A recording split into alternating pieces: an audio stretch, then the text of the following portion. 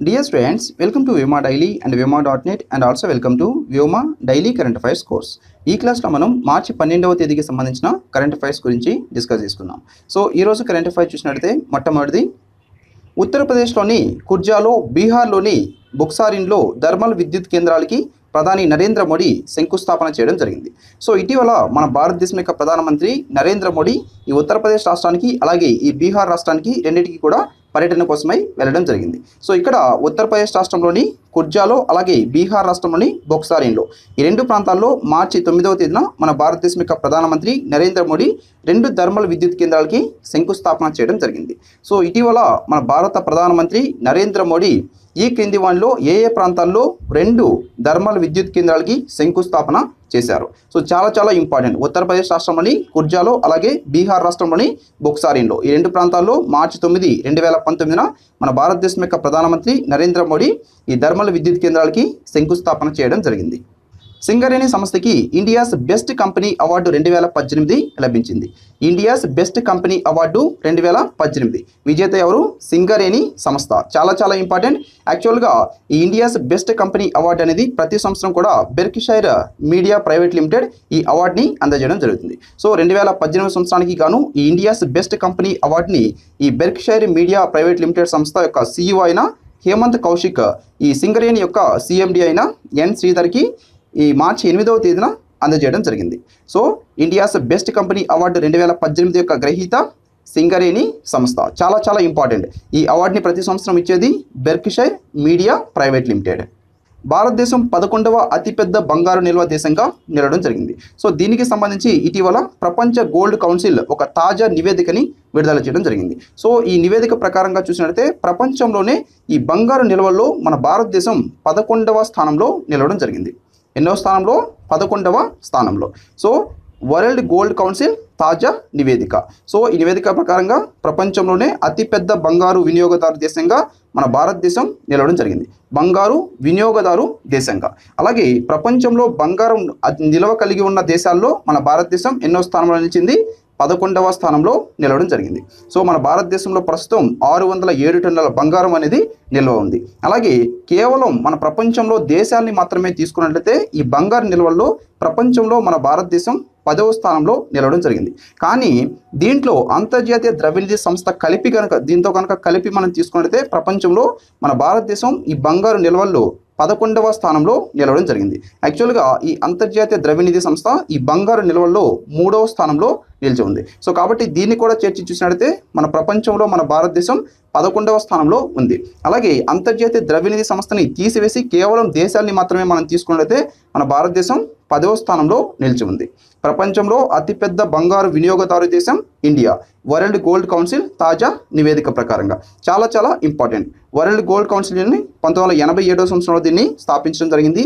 దీని యొక్క ప్రధాన కార్యాలయం వచ్చేసి లండన్లో ఉంటుంది. ఈ వరల్డ్ గోల్డ్ కౌన్సిల్ యొక్క ప్రజెంట్ ప్రెసిడెంట్ వచ్చేసి డేవిడ్ హార్క్వైల్. డేవిడ్ హార్క్వైల్ ఈ వరల్డ్ గోల్డ్ కౌన్సిల్ యొక్క ప్రజెంట్ ప్రెసిడెంట్. సో దీని మీద మనల్ని ప్రశ్నలు అడిగేదానికి అవకాశం ఉంటుంది. సో ప్రపంచంలోనే అతిపెద్ద బంగారు వినియోగదారు దేశం ఇండియా. వరల్డ్ గోల్డ్ కౌన్సిల్ తాజా నివేదిక ప్రకారంగా. అలాగే వరల్డ్ గోల్డ్ కౌన్సిల్ తాజా నివేదిక ప్రకారంగా ప్రపంచంలో బంగారం నిల్వ కలిగి ఉన్న దేశాల్లో భారతదేశం యొక్క స్థానం ఎంత? పదకొండవ స్థానం.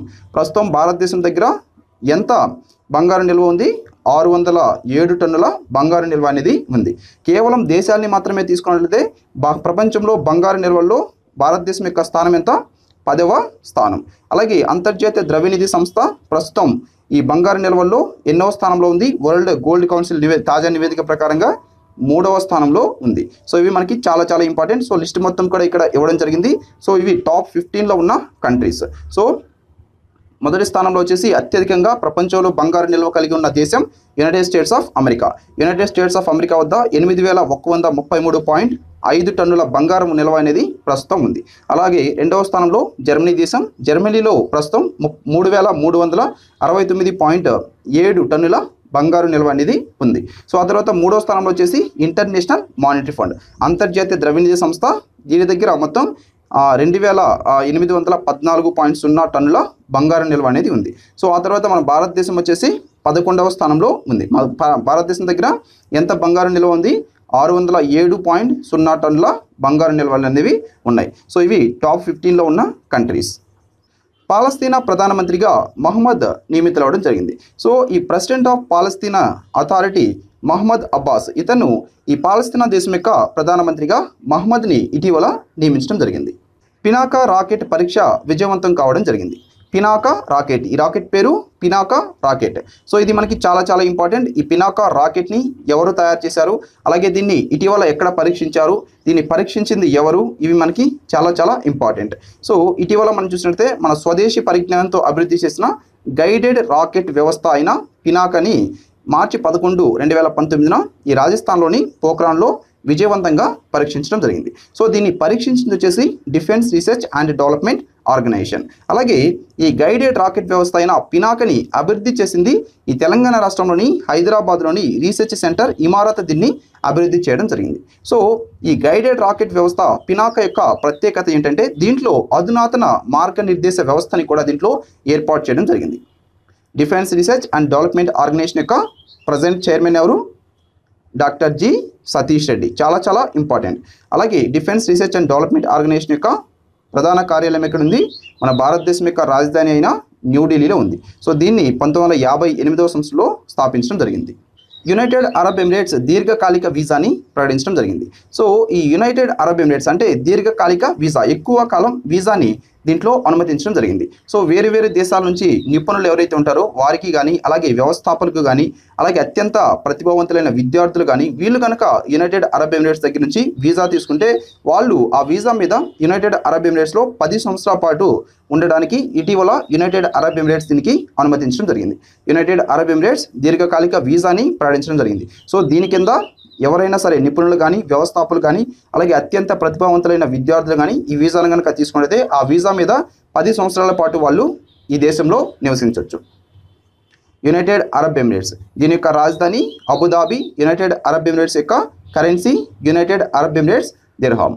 United Arab Emirates యొక్క president Khalifa bin Zayed al Nahyan. చాలా చాలా ఇంపార్టెంట్. యునైటెడ్ అరబ్ ఎమిరేట్స్ యొక్క president Khalifa bin Zayed al Nahyan. United Arab Emirates యొక్క ప్రధానమంత్రి Mohammed bin Rashid al Maktoum చాలా చాలా ఇంపార్టెంట్ ప్రెసిడెంట్ పేరు అలాగే ప్రధానమంత్రి పేరు. అలాగే దీని యొక్క రాజధాని Abu Dhabi currency United Arab Emirates dirham మూడుసార్లు ప్రపంచ ఛాంపియన్ అయిన అమెరికన్ సైక్లిస్ట్ కెల్లీ క్యాట్లిన్ ఇటీవల మరణించడం జరిగింది.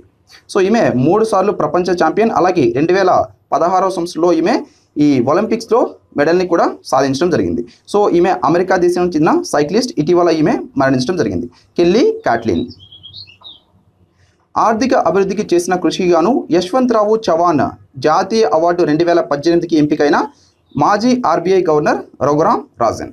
So మన భారతీయ రిజర్వ్ బ్యాంక్ యొక్క మాజీ గవర్నర్ అయిన రఘురామ్ రాజన్ ఇతను ఆర్థిక అభివృద్ధికి చేసిన కృషికి గాను ఇతన్ని గుర్తించి యశ్వంతరావు చవాన్ జాతీయ అవార్డు రెండు వేల పద్దెనిమిదికి ఇతన్ని ఎంపిక చేయడం జరిగింది. యశ్వంతరావు చవాన్ జాతీయ అవార్డు రెండు వేల పద్దెనిమిదికి ఎంపికైన వ్యక్తి భారతదేశం యొక్క రిజర్వ్ బ్యాంకు మాజీ గవర్నర్ రఘురామ్ రాజన్.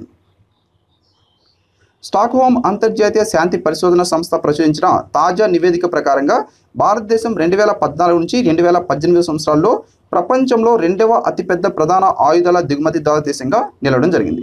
ప్రపంచంలోనే రెండు వేల పద్నాలుగో సంవత్సరం నుంచి రెండు వేల పద్దెనిమిదో సంవత్సరం వరకు ఈ మధ్యకాలంలో ప్రపంచంలో ఈ ఆయుధాలు దిగుమతిదారు దేశాలు ఏవైతే ఉంటాయో వాటిల్లోనే మన భారతదేశం రెండవ అతిపెద్ద దిగుమతిదారు దేశంగా నిలవడం జరిగింది. సో ఈ తాజా నివేదికని విడుదల చేసింది స్టాక్హోమ్ అంతర్జాతీయ శాంతి పరిశోధన సంస్థ. Stockholm international peace research institute. So ప్రపంచంలో మొదటి అతిపెద్ద ఆయుధాల దిగుమతిదారు దేశం వచ్చేసి సౌదీ అరేబియా. చాలా చాలా ఇంపార్టెంట్. సౌదీ అరేబియా మొదటి స్థానంలో ఉంది. అలాగే మన భారతదేశం వచ్చేసి ఈ ఆయుధాల దిగుమతి ధరలో రెండు వేల పద్నాలుగు నుంచి రెండు వేల పద్దెనిమిది సంవత్సరాల మధ్య కాలంలో రెండవ స్థానంలో నిలవడం జరిగింది. సో మన భారతదేశం అత్యధికంగా ఈ ఆయుధాన్ని ఏ దేశం నుంచి దిగుమతి చేసుకుంటుంది? మన భారతదేశం అత్యధికంగా ఈ ఆయుధాన్ని రష్యా నుండి దిగుమతి చేసుకోవడం జరిగింది. రెండు వేల పద్నాలుగు రెండు వేల పద్దెనిమిది సంవత్సరాల కాలంలో యాభై ఎనిమిది శాతం ఆయుధాన్ని మన భారతదేశం ఈ రష్యా దేశం నుంచే దిగుమతి చేసుకోవడం జరిగింది. సో ఆ తర్వాత రెండు వేల తొమ్మిది నుంచి రెండు వేల పదమూడు అంతకుముందు రెండు వేల పద్నాలుగు నుంచి రెండు వేల పద్నాలుగుకి ముందు రెండు వేల తొమ్మిది నుంచి రెండు వేల పదమూడు సంవత్సరం వరకు ఈ రష్యా నుండి మన భారతదేశం డెబ్బై ఆరు శాతం ఆయుధాలని దిగుమతి చేసుకోవడం జరిగింది. సో ఇక్కడ మీరు చూసినట్లయితే రెండు వేల తొమ్మిది నుంచి రెండు వేల పదమూడు వరకు డెబ్బై ఆరు శాతం ఆయుధాలని రష్యా నుండి మన భారతదేశం దిగుమతి చేసుకుంది. కానీ రెండు వేల పద్నాలుగు నుంచి రెండు వేల పద్దెనిమిది సంవత్సరం వరకు మన భారతదేశం రష్యా నుంచి యాభై ఎనిమిది శాతం ఆయుధాలను మాత్రమే దిగుమతి చేసుకోవడం జరిగింది. సో ఇక్కడ ఈ ఆయుధాల దిగుమతి అనేది తగ్గిపోవడం జరిగింది. సో ఈ కా ఈ కాలంలో రెండు వేల పద్నాలుగు నుంచి రెండు వేల పద్దెనిమిది సంవత్సరం మధ్య కాలంలో ఈ రష్యా నుంచి మన భారతదేశం ఆయుధాల దిగుమతి ఎందుకు తగ్గిందంటే ఇదే కాలంలో ఇజ్రాయిల్ అమెరికా అలాగే ఫ్రాన్స్ ఈ దేశాల నుంచి ఈ ఆయుధాల దిగుమతిని మన భారతదేశం పెంచుకోవడం జరిగింది. అంటే రష్యా దేశం నుంచి తగ్గించి ఇజ్రాయిల్ అమెరికా ఫ్రాన్స్ ఈ దేశాల నుంచి ఆయుధాల దిగుమతిని మన భారతదేశం పెంచడం జరిగింది. సో ఇది మనకి చాలా చాలా ఇంపార్టెంట్. అలాగే మన భారతదేశం అత్యధికంగా ఆయుధాలని ఈ క్రింది వాణిలో ఏ దేశం నుంచి దిగుమతి చేసుకుంటుంది అని కూడా మనల్ని ప్రశ్న అడిగేదానికి అవకాశం ఉంటుంది. మన భారతదేశం అత్యధికంగా ఆయుధాలను దిగుమతి చేసుకుంటుంది ఏ దేశం నుంచి? రష్యా దేశం నుంచి. అలాగే పాకిస్తాన్ వచ్చేసి ఈ అత్యధికంగా ఆయుధాలు దిగుమతి చేసుకునే దేశాల్లో ప్రపంచంలో పదకొండవ స్థానంలో నిలవడం జరిగింది. పాకిస్తాన్ అత్యధికంగా చైనా దేశం నుంచి ఈ ఆయుధాలని దిగుమతి చేసుకోవడం జరిగింది. సో దీనికి సంబంధించి ఈ నివేదికను ఇటీవల విడుదల చేసింది Stockholm international peace research institute. So ఈ Stockholm international peace research ఇన్స్టిట్యూట్ని పంతొమ్మిది వందల అరవై ఆరు మే ఆరవ తేదీన స్థాపించడం జరిగింది. దీని యొక్క ప్రధాన కార్యాలయం వచ్చేసి స్వీడన్లోని సోల్నాలో ఉంటుంది. Stockholm international peace research institute యొక్క ప్రధాన కార్యాలయం ఎక్కడ ఉంటుంది? స్వీడన్ దేశంలోని సోల్నాలో ఉంటుంది. యూనివర్సిటీ గ్రాంట్స్ కమిషన్ సభ్యుడిగా నాగేష్ ఠాకూర్ నియామకం అవడం జరిగింది. యూనివర్సిటీ గ్రాంట్స్ కమిషన్ చాలా చాలా చాలా ఇంపార్టెంట్ యూనివర్సిటీ గ్రాంట్స్ కమిషన్ నుంచి మనల్ని కంపల్సరీ ప్రశ్నలు అడిగేదానికి అవకాశం ఉంటుంది. యూనివర్సిటీ గ్రాంట్స్ కమిషన్ యొక్క సభ్యుడిగా ఇటీవల నాగేష్ ఠాకూర్ని నియమించడం జరిగింది. సో ఈ యూనివర్సిటీ గ్రాంట్స్ కమిషన్ అనేది ఒక స్టాట్యుటరీ బాడీ అంటే ఒక చట్టబద్ధమైన సంస్థ. చట్టబద్ధమైన సంస్థ అంటే పార్లమెంటు చట్టం ద్వారా దీన్ని ఏర్పాటు చేయడం జరిగింది. సో మనల్ని ఏ విధంగా దీని మీద ప్రశ్న అడిగేదానికి అవకాశం ఉందంటే యూనివర్సిటీ గ్రాంట్స్ కమిషన్ అనేది ఈ క్రింది వాటిలో ఏ రకమైన సంస్థ. సో అంటే ఇది కాన్స్టిట్యూషనల్ బాడీనా లేదా స్టాట్యుటరీ బాడీనా ఈ విధంగా మనల్ని ప్రశ్న అడిగేదానికి అవకాశం ఉంటుంది. సో ఇది స్టాట్యుటరీ బాడీ ఒక చట్టం ద్వారా పార్లమెంట్ దీన్ని ఏర్పాటు చేయడం జరిగింది. So setup by the Indian union government in accordance with the UGC act nineteen fifty six so university grants commission act nineteen fifty six ద్వారా దీన్ని మన కేంద్ర ప్రభుత్వం ఏర్పాటు చేయడం జరిగింది. సో ఇండియన్ యూనియన్ ప్రభుత్వం దీన్ని ఏర్పాటు చేసింది. సో దీన్ని ఎవరు ఏ మినిస్ట్రీ కింద ఏర్పాటు చేసిందంటే ministry of human resource development కింద దీన్ని ఏర్పాటు చేయడం జరిగింది. మానవ వనరుల అభివృద్ధి మంత్రిత్వ శాఖ కింద యూనివర్సిటీ గ్రాంట్స్ కమిషన్ అనేది పనిచేయడం జరుగుతుంది. ప్రస్తుతం మానవ వనరుల అభివృద్ధి శాఖ మంత్రి ఎవరు? ప్రకాష్ జవదేకర్. చాలా చాలా ఇంపార్టెంట్. అలాగే ఈ యూనివర్సిటీ గ్రాంట్స్ కమిషన్ యొక్క ప్రధాన కార్యాలయం మన భారతదేశం యొక్క రాజధాని అయిన న్యూఢిల్లీలో ఉంటుంది. ఆర్మేనియాకు తదుపరి భారత రాయబారిగా కిషాన్ డాన్ దివాల్ నియమితులవడం జరిగింది. ఆర్మేనియా దేశానికి తదుపరి భారత రాయబారిగా కిషాన్ డాన్ దివాల్ని ఇటీవల మన భారతదేశం యొక్క విదేశాంగ శాఖ మంత్రి అయిన సుష్మా స్వరాజ్ నియమించడం జరిగింది. ఆర్మేనియా దేశం యొక్క రాజధాని ఎరేవాన్ ఆర్మేనియా దేశం యొక్క కరెన్సీ ఆర్మేనియన్ డ్రామ్. అలాగే Noah Noah's ark silver coins. So ఇవి రెండు కూడా ఆర్మేనియా దేశం యొక్క కరెన్సీస్. ఆర్మేనియా దేశం యొక్క ప్రజెంట్ ప్రెసిడెంట్ వచ్చేసి ఆర్మెన్ సర్కీసియన్. సర్కీసియన్ దీని యొక్క ప్రజెంట్ ప్రెసిడెంట్. అలాగే ఆర్మేనియా దేశం యొక్క ప్ర ప్రజెంట్ ప్రధానమంత్రి వచ్చేసి Nikol Pashinyan. Nikol Pashinyan. So ఇది ఆర్మేనియా దేశం ఇక్కడ రెడ్ మార్క్లో చూపించింది. ఆర్మేనియా దేశం ఇది ఈ ఆసియా ఖండంలో ఒక దేశం. ఈ ఆర్మేనియా దేశానికి తదుపరి భారత రాయబారిగా ఇటీవల ఎవరు నియమితులయ్యారు? కిసాన్ డాన్ డివాల్ సో ఇవి ఈరోజు కరెంట్ అఫైర్స్ తప్పకుండా ఈ వీడియో మీకు నచ్చినట్టయితే లైక్ చేయండి.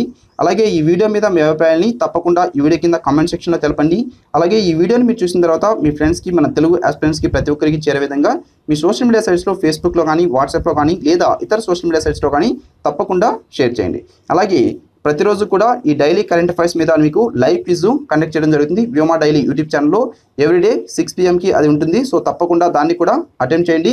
సో మీకు కరెంట్ అఫైర్స్ నుంచి ఏ ఒక్క క్వశ్చన్ కూడా మీరు మిస్ అవ్వకుండా హండ్రెడ్ పర్సెంట్ క్వశ్చన్స్కి మీరు ఆన్సర్ చేసే విధంగా మీకు ఈ వ్యోమా డైలీ యూట్యూబ్ ఛానల్లో ఎవ్రీడే ఈ కరెంట్ అఫైర్స్ క్లాసు అలాగే ఎవ్రీడే లైవ్ క్విజు అలాగే మీకు ఆన్లైన్ ఎగ్జామ్స్ కూడా వ్యోమాలో ఫ్రీగా ఇవ్వడం జరుగుతుంది. సో వీటన్నిటిని కనుక మీరు అటెంప్ట్ చేసినట్లయితే హండ్రెడ్ పర్సెంట్ మీరు కరెంట్ అఫైర్స్ మీద అడిగే ప్రతి ఒక్క ప్రశ్నకి కూడా ఆన్సర్ చేయడం జరుగుతుంది. Right so please follow these guys అలాగే ఈ వీడియోని మీరు చూసిన తర్వాత తప్పకుండా మీ ఫ్రెండ్స్కి కూడా షేర్ చేయండి.